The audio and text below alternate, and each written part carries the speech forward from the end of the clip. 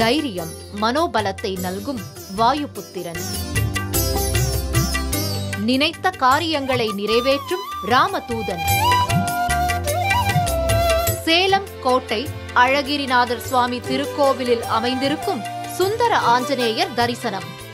ஆலயங்கள் அற்புதங்கள். நாளை காலை ஆறு மணிக்கு. மறு ஒளிபரப்பு மாலை ஆறு மணிக்கு. நமது புதியுகத்தில்.